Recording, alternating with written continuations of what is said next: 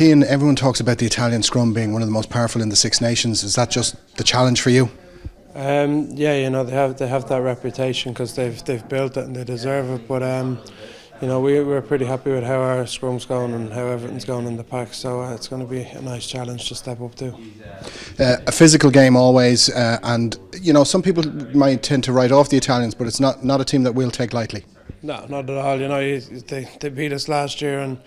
You, you can uh, you can never write someone off that uh, that's capable of doing that and and uh, you know we've we've been pretty on our detail all week and we've known the threats that they have and, and kind of done all our done all our homework. So uh, you know we're going into it fairly well prepared, looking for a good performance.